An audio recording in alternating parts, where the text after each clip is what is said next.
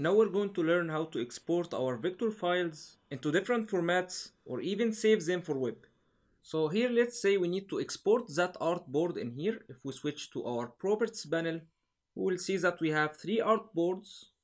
So let's say we need to export only that artboard. We can be going to file, export, then export as. We can be naming our file from here and then we can be selecting our format by clicking that arrow. And we can be selecting from all these formats. Of course JPEG is the most famous format that will be converting our vector design file into pixels or raster image. And also PNG format will be converting our vector file into pixeled image. However this format will be allowing us to use transparent background and same as well for most of these formats will be converting our vector file into pixels except for that SVG format. And we will learn how to do that in a second. However we're gonna be starting by JPEG so I'm gonna be selecting JPEG and we will use artboards selecting only artboard number 3 then clicking export. And we can be changing our color model from here instead of RGB to CMYK or grayscale so RGB will be for screens or web design. However, CMYK will be selected for printing and grayscale will be replacing our colors into grays. And here we can be customizing our image quality. So 10 will be the maximum quality. However, it's gonna be producing large image and smaller files will be lower in quality. And what's really important in these options is that choosing your resolution? So you can be selecting instead of screen you can be selecting high for printing or medium or you can be choosing other values from here if you would like. So 72 ppi will be perfect for web design and maybe for some design preview if you would like to send to client. And 300 ppi or pixel per inch will be perfect for printing your design into a high resolution. So we're gonna be selecting screen for now since we're not gonna be printing that one.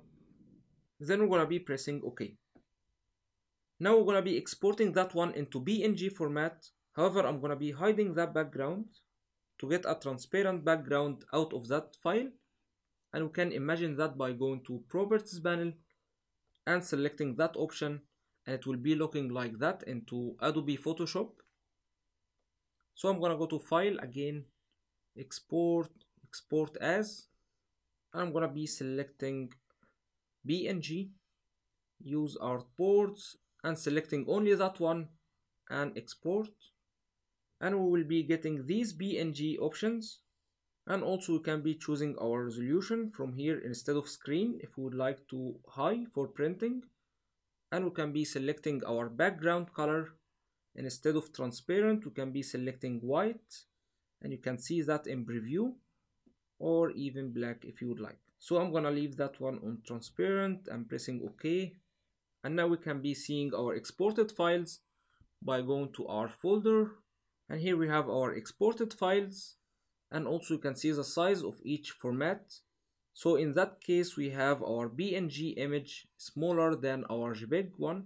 And that's because we used the highest quality for our JPEG image.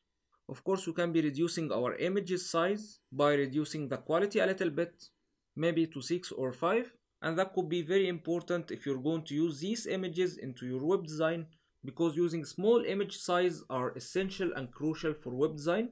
And if we preview that PNG you will see that it has a transparent background in here. So back to our illustrator again and switching to that file in here. And let's say we need to export that one into SVG format go into file export as and selecting SVG and we have only one artboard in that file so we're not going to be using artboard and we're going to be exporting that one. And what's amazing about that file format is that it's browser compatible vector file format which is very important for responsive web design. And responsive websites means that if you open them from different screens either PC, tablet or mobile devices it will be changing in size according to each and every screen aspect ratio and if you're interested in building responsive web design with no coding or HTML or CSS or all these coding languages, you can be also checking my WordPress latest design techniques.